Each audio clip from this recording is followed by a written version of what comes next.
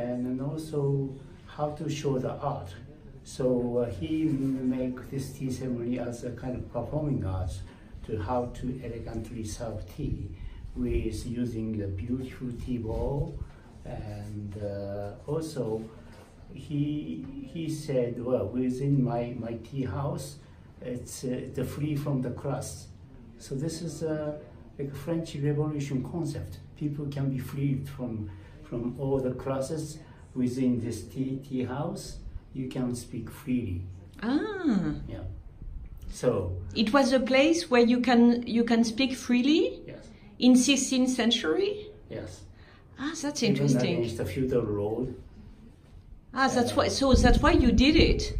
Yes, this is a relation with French Revolution concept of the Sen no Rikyu's concept of how can be free for the human spirits. Ah, okay. But of course, you know, if you're facing your feudal road within such a close, then people get so uh, nervous. But uh, this is also the, in the in the medieval, the people never speak so close in the in the public space. And the emperor is high up, and the shogunate is next to the, uh, the emperor, and the people followers are so way back. So it's to to to see people each other face to face. Ah, Or so it's it's quite a, it's a, it's a unique uh, social communication method. So the people has to de-arm it before people to get into the tea. The sword has to be outside, otherwise you know you can kill each other. Yes. but so here it's a very spiritual place, right? Huh? Yeah, yes. So tea ceremony became a very spiritual. It's not a religion, but a spiritual practice of uh, enjoying the art. Because the hanging scrolls, the painting, very, very uh, uh, the, the good painting from uh, probably China, Song Dynasty. It's it's a treasures. But the tea ceremony, tea utensils treasure.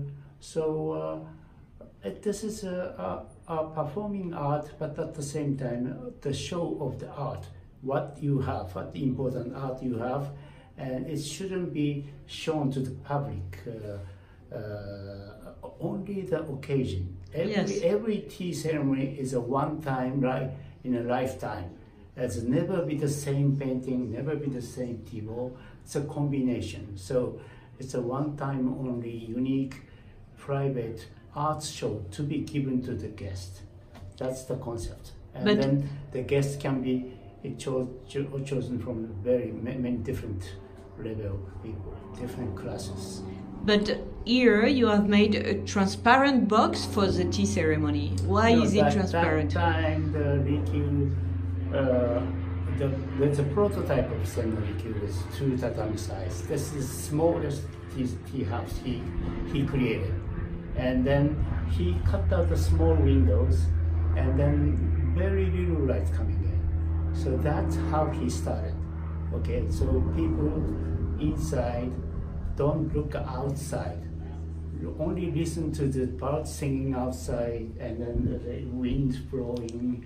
So that's the meditation method.